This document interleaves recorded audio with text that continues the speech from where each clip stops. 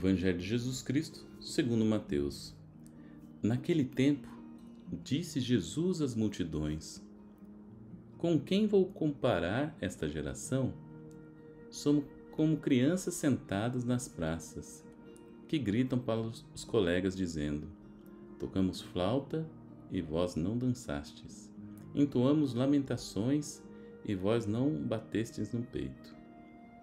Veio João que nem come nem bebe, e dizem: Ele está com um demônio. Veio o filho do homem, que come e bebe, e dizem: É um comilão e beberrão, amigo de cobradores de impostos e de pecadores.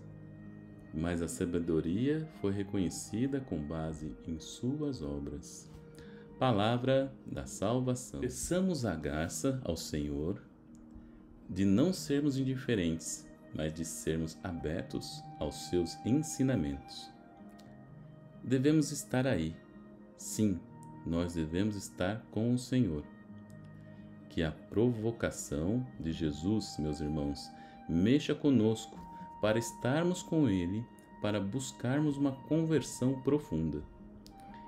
Que nós não sejamos indiferentes diante da mensagem do Evangelho, diante da pessoa de Cristo a pessoa de Cristo deve nos motivar a uma mudança.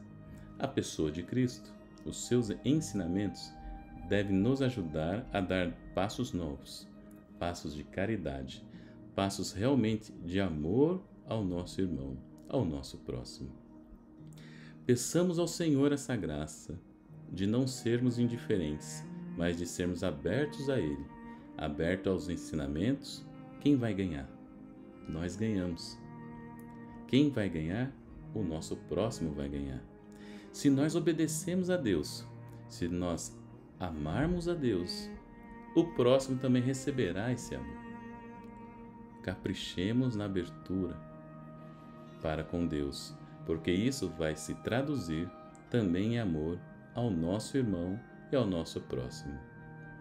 Vamos contagiar essa geração indiferente para que não seja mais indiferente, que acolha o amor de Cristo através de mim e de você. A bênção de Deus Todo-Poderoso, Pai, Filho e Espírito Santo. Amém. Amar demais que a mim mesmo, amar demais que tudo que há.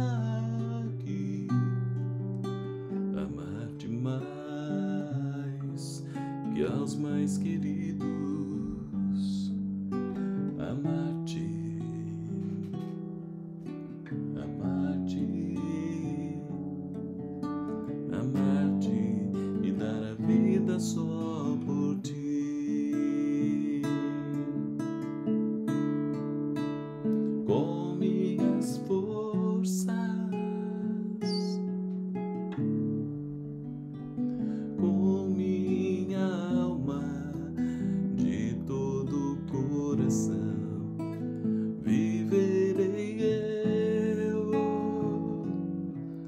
só pra te amar, amar-te, amar-te, amar-te e dar a vida só por ti.